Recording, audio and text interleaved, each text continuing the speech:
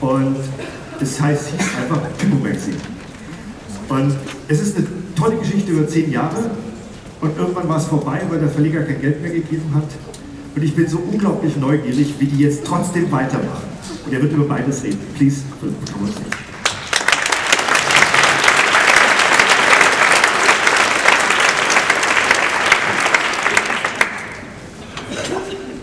Good afternoon. I apologize for my flu, so it, you will hear it in my uh, tone of my voice. I'm sorry for that.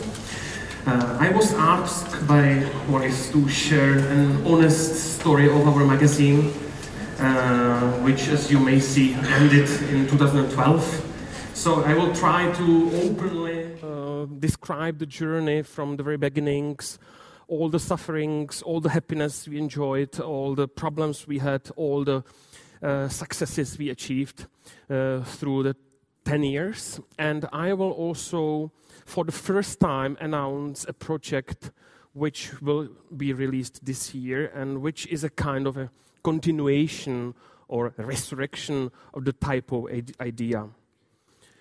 Um, to put mm, the Typo magazine in the context, I should start with the Typografia magazine. It's the oldest Czech magazine published since 1888 until today. Uh, they survived all the wars, all the regimes. Of course, there were few breaks in the publishing uh, during the wars and uh, just after the fall of the communist regime. But anyway, they managed to survive and they successfully continue publishing. Uh, when I was looking for the very first issue of the Typografia from 1888, I was looking at the internet and I found this slide. And I was looking for the source of the slide, and I realized it's from an antique bookstore, and the first year is available for about 12 euro. So I immediately bought it. It was a big surprise because usually the price for the first year is 10 times higher. So this one is the first issue as the last one. Uh, there was another magazine about graphic design, but also about printing and the technical stuff, websites and packaging and uh, advertising called Font, which is still being published, and they reached number uh, 138 issues so far. Uh, there was another magazine, Delatur. Uh, in the beginning, it was announced as quarterly, but there were only six issues during uh, seven years, so it was not even an annual magazine. Uh, I became an editor of this magazine, I think, since the second or third issue. Uh, so this is the background of the design scene in uh, magazine scene related to graphic design in the Czech Republic, and something about me because I think this is important for the story of Typo magazine. I started a website about Czech typography in 1997. Uh, it was still not possible to buy a domain, so the website address was extremely complicated with even some slashes. No, slashes, slashes are quite common, but with some waves in the address. It was really complicated. And uh, the website was quite successful. I had a lot of visitors because it was the only online source of information about typefaces, about design magazines, font editors uh, in the Czech Republic. You can see three versions uh, I did in 1997, 1999, and the most like real one from 19, uh, 2003. Um, I also wrote a book about typography. It's called Practical Typography. It's more a guidebook how to use the software to do proper typography on computers, how to set proper uh, numbers, how to use quotes in Czech, German, English, French. Uh, it was this publication became quite successful. I think the publisher sold around 5,000 copies. It's quite outdated, but it's still uh, hunted by students of graphic design. And uh, to finish talking about me, I'm a designer and I have a design studio which I started in 1997 and I named it Designiq in 2002. So now back to Typo magazine. This is how it looks like, and we or I brought about 20 copies or maybe 30 copies, and they will be available for uh, 10 euro each at the bookstore. So you can find, I think, five or six different issues in the store. Uh, in 2002, I was contacted by a publisher and he told me, hey, become an editor of chief in this new project. We will buy the Typografia magazine, the one I mentioned, the oldest Czech magazine, and you will be the editor in chief, full time job. I said no because I didn't want to lose my job as a graphic designer, but I uh, offered a solution. There will be an editorial board, and there will be an mm, like manager of the uh, editors who will take care about deadlines and contacting contributors, etc. And they agreed.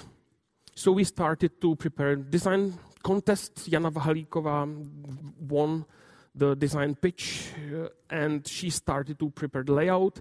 We were still considering the typografia, so we followed the size of the existing typografia magazine. Then in August, there were huge floods in Prague. Maybe you remember the pictures of Prague flooded by two meters. The historical downtown was flooded with, with, with water. And it was one of the disasters of this year. The second disaster was the Typografia team, uh, the owners of the Typografia magazine, suddenly desi- decided not to become part of the new project. And they decided they will not accept the takeover. So we had to quickly rename it because there was no time. So it was quite obvious we were thinking about a typo because it was my website, typo.cz.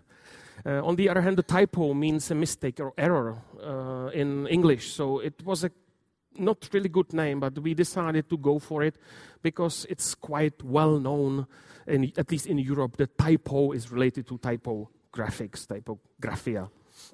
The first issue was printed in December, but again, it was a disaster because the printer did an extremely bad job. The, there was no right angles on the cover. No, three millimeters. We don't care. So we decided not to accept this as a start of an international magazine because it, we, it, we were horrified by this, and we asked them to do it again. Uh, I wanted to show you some pictures of me from that time, but I realized it was not yet the selfie time, so I didn't take pictures of me then. I was in China in 2002 with uh, other part of the team and other members of the team, and this is the only pictures I found on my digital camera from this Chinese trip in Starbucks coffee, and it was my first experience in Starbucks in communist China. So that's me resting in an air conditioned environment. This is my, I think this is my second picture I took on a digital camera. It's from a boat between Hong Kong and Macau. And this is just to illustrate you how the floods in Prague looked like. Usually there are trams and a lot of tourists here, and it was covered with, with water. So enough disasters. 2003 is the official launch of our magazine. We started with, uh, I think, 24 pages in the end, uh, this uh, pe period, which lasted, I think, un until 2008, we had uh, maximum 44 pages. The Czech was the primary language, English was secondary, but all the texts were translated into English. It was published every two months, and uh, most of the topics were local. We decided to create a magazine which would uh, fill the gap of the education. Uh, we thought the Czech and Slovak education is not good enough, and students have gaps. They don't know much about the history of Czechoslovak typography. They don't have basic knowledge of uh, the most famous design projects uh, from the history of graphic design of the 20th century. So we decided to uh, talk about quite obvious topics. Uh, Ladislav Sutnar, Eric Gill, for instance, or Adrian Frutiger. Uh, it was quite successful. The publisher was happy. Uh, we were pretty like a good team, and we had a lot of uh, good response from our readers. Uh, the second tier, uh, oops, yeah, sorry. The second tier became focused on more original text. We realized it doesn't make sense to talk about things people can read elsewhere. So we focused more on original content. So we invited people to write specifically for us, but mostly from uh, our region, so Czech Republic, Slovakia. We had few foreign contributors like Jan Middendorp. And this was the first year the editors uh, went to the, in the international conferences. We went to Typo Berlin and we joined the AType Prague, and it was a huge experience for us. It was an eye-opening event. We were surprised by the international community, but uh, by the friendliness of many people there, and uh, it was a year full of enthusiasm. Uh, as Boris mentioned, the um, diacritics topic, I wrote a huge uh, article about uh, international accents for this blue uh, issue. I think it was number 10. It was very successful. So we were full of enthusiasm. So this is our some of our pictures from the Typo Berlin, uh, selling uh, copies of our magazine. Next year, probably based on our experience from the conferences, we switched the, the priorities of languages. So the English was most important now, and Czech as a secondary language.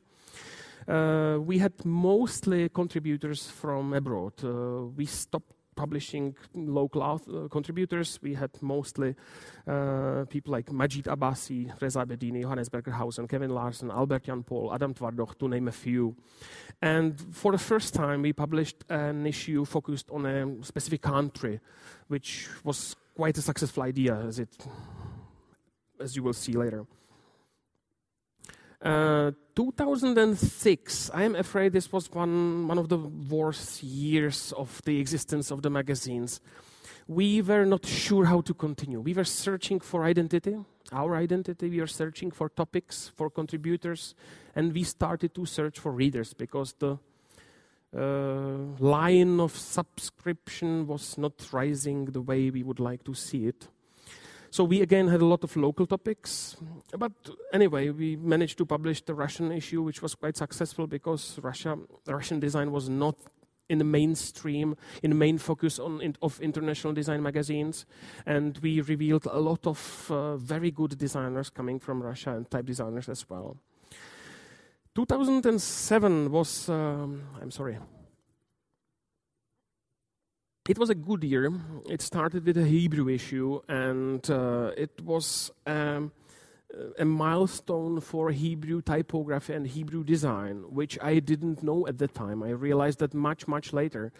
Uh, we had a lot of orders of this magazine from Israel, and I later realized the local designers, for them, it was the first uh, comprehensive study of Israeli graphic design and typography of late 20th, uh, of the beginning of 21st century. They never had such a review. So they were very happy that our magazine published this uh, feature in this year, we also start. We also joined the European Design Award. Um, I guess you know this international competition or European competition, and uh, there is one important guy on this picture, or more, there are more important guys on this picture, but uh, related to our magazine. Uh, Michel Chanaud is a French publisher of Etape magazine, and I will mention him later again. And next to him is uh, John L. Walters, the publisher of Eye magazine. And this is how our editor meetings looked like. We never had an office, so our meetings were always in a, in a restaurant. We were drinking a lot of Merlot that time. Sunrise, quite a decent wine. Uh, after long discussions, we finally decided to change the size, which were the the part of the former Typographia project. So we finally uh, freed ourselves from the concept of Typographia and finally changed layout, design, paper, binding, uh, size, everything was changed. And I think it was finally looking good. Mm, honestly, I realized that I was not really happy with the design of the magazine uh, in the first uh, six years or five years. So finally, I was re- really happy with this redesign. The magazine became thicker. We had between 64 and 136 pages. And we again started to focus more on the international market. I think we the, the reason we switched between local topics and international topics was based on the subscription numbers. The year we had more subscribers from abroad, we started to focus on them. The year we had more subscribers from the Czech, Czech Republic, we had uh, the focus on, on local topics. In this year, we covered um, Jan Tschichold, uh, we had Korean and Italian issue, and also we joined uh, the G4 initiative. It was a Polish project supported by Visegrad Fund, and it was uh, covering the graphic design scene in the countries of so-called Visegrad community, which is Slovakia, Czech Republic, Poland, and Hungary. And uh, it was the first time we received um, extra funding from, from an organization like this, which allowed us to create, uh, like to spend more, um, to give more money to contributors and pay uh, more money to our photographers, etc., etc. This is probably the last photo of the whole editorial team at once. Uh, and you soon realize why. Again, in a pub, of course, where else?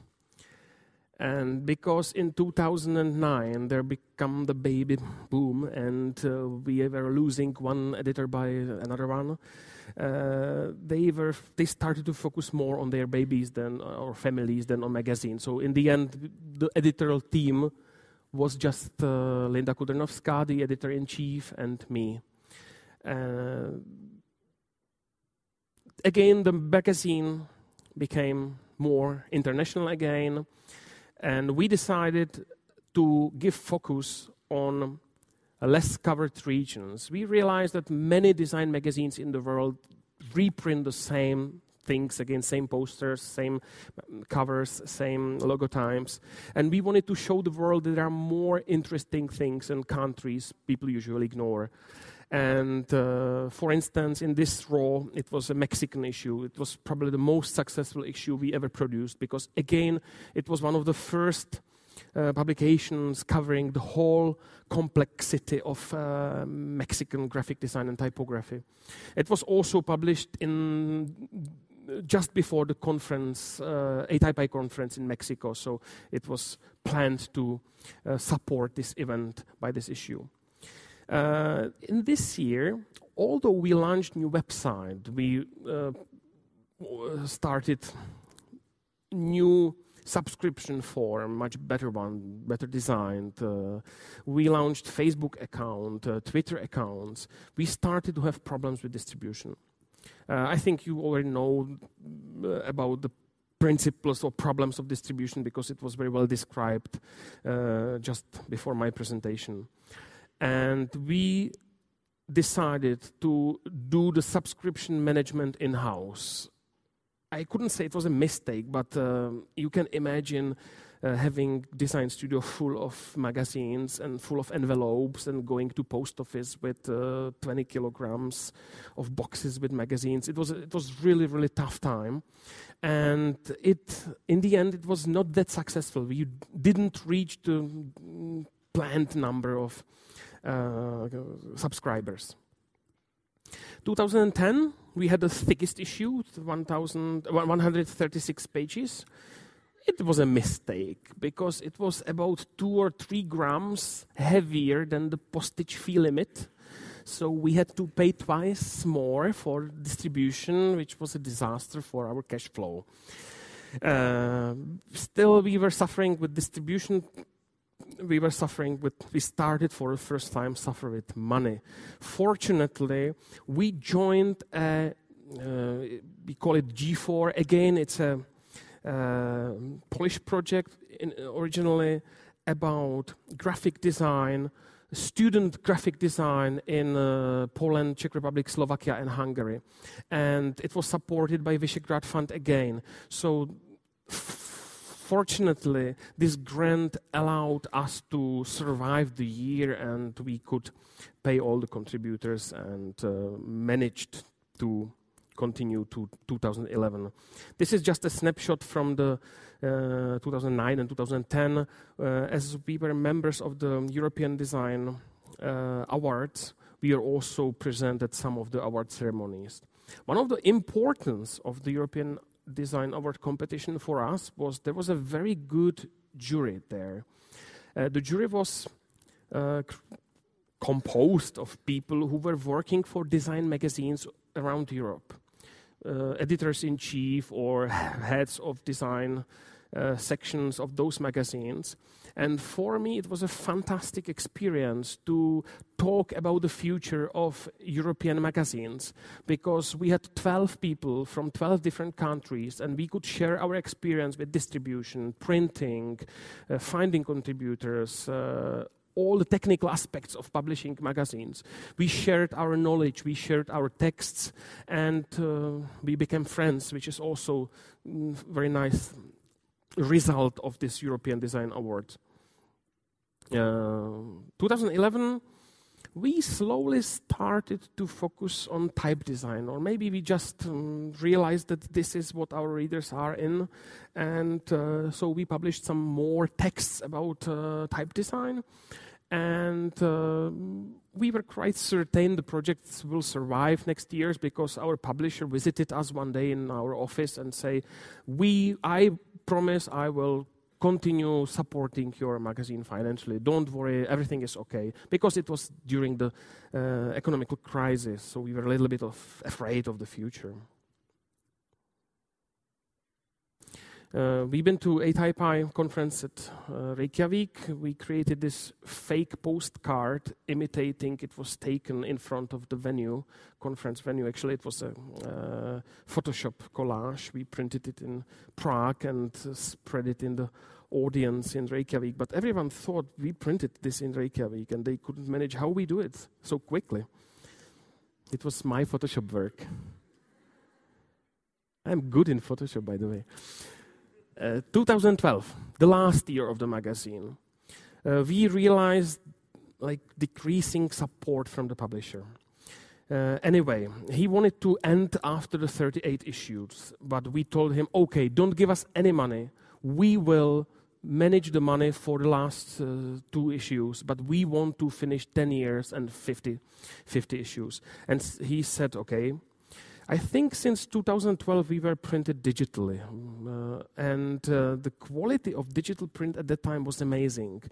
Uh, we showed some of the copies to really experienced old printers, and they couldn't tell us it was printed digitally.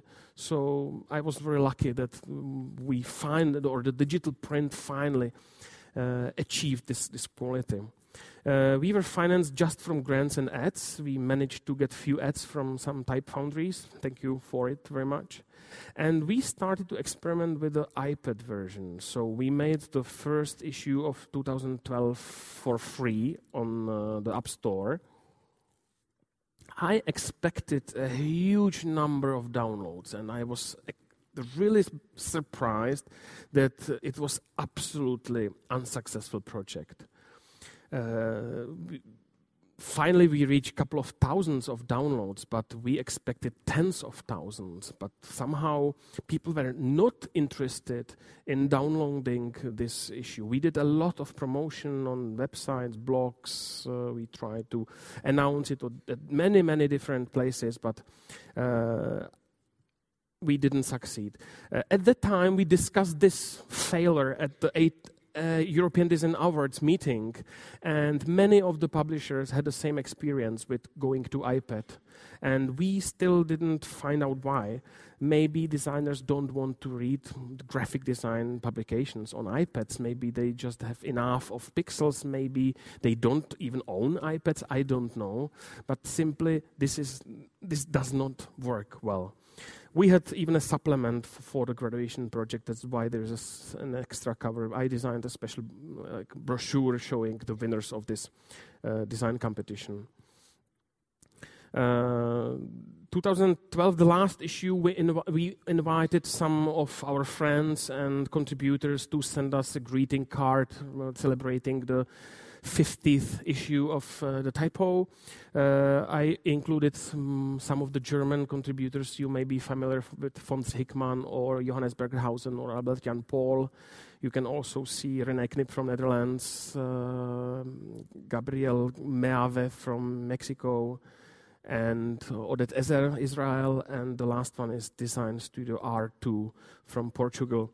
We had we received, I think, 20 postcards like, the, like this, and we published them in the uh, in, in the magazine. Uh, this was the party uh, cel- celebrating the 10th year and 50th issue of uh, Typo, and you can even see the next speaker among the visitors of this party. So I should make a summary. Uh, we were proud of many texts written by many contributors.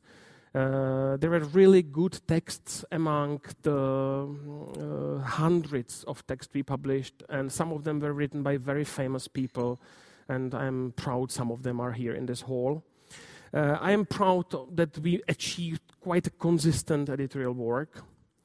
Uh, the Typo magazine opened the doors of many events for us. We were welcomed to join, uh, to join many, many events around the world uh, without paying the fee which was I didn't mention I never I was never paid for my work for Typo magazine or Typo magazine. The only one paid for the work was the editor in chief, and all the people in the editorial team, including me, uh, worked for free. Um, maybe one of the most important thing for me, we made a lot of friends and a lot of good friends during the 10 years of publishing the magazine. And I think this is a thing which will stay forever. This is, while the magazine, you can burn it, but you can't burn friendship.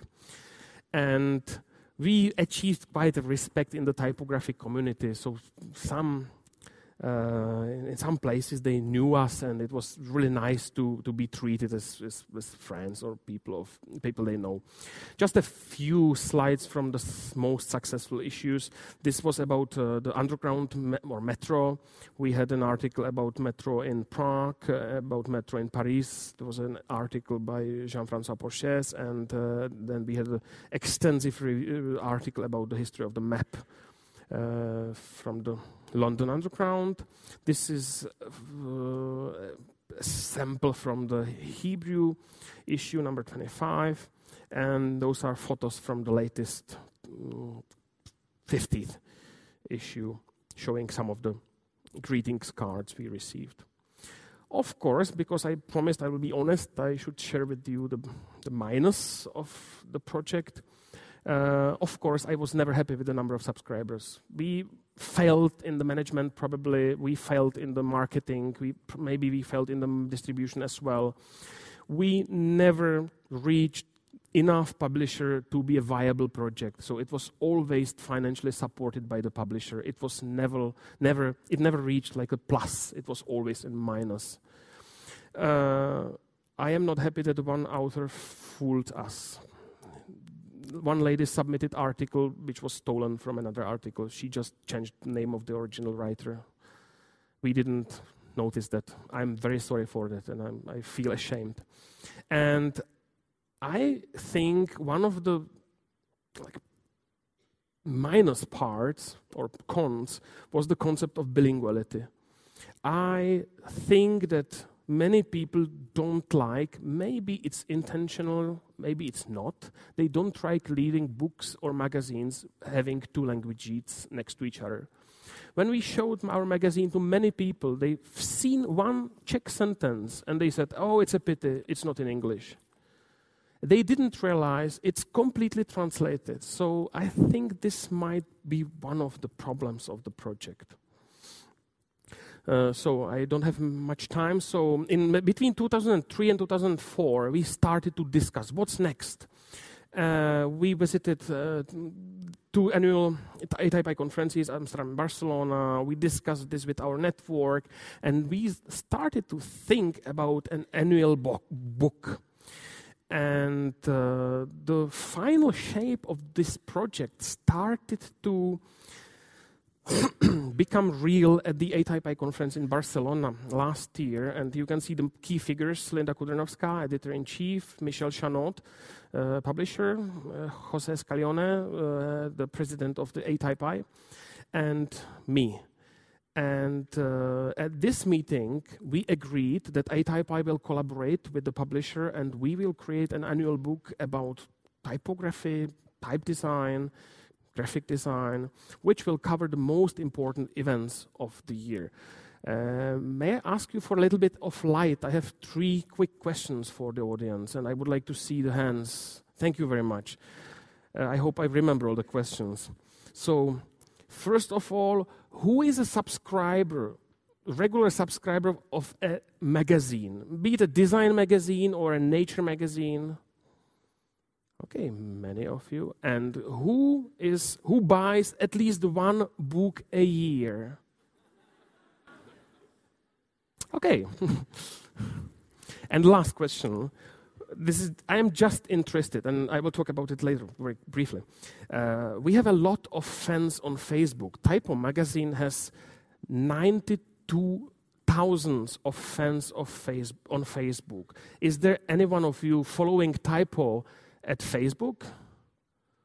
Oh, I'm surprised you are. Thank you. You can dim the light again. Thank you. And partly inspired by Jacek Utko, Polish newspaper designer, uh, we realized that there is a general switch from newspaper to magazines, from magazines to books, at least in the design expression. Uh, we realized our target group simply does not subscribe magazines, but they still buy books. So we, this was one of the principles of, of this future project. We call 365 typo. And we also realized many websites and blog disappear in time on the internet.